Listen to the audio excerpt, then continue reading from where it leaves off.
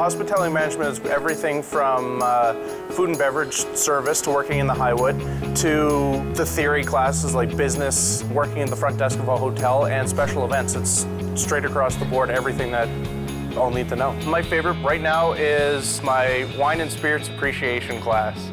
It's very easy to grasp when you have such great teachers. They know what they're talking about, they know what you're going to encounter, and what you need to know in a managerial role. We have an internship program, so during the summer you get a job in the industry and helps teach you more skills. I'm hoping to build off of that. So either a food and beverage manager or a general manager of a restaurant is my end all be all goal.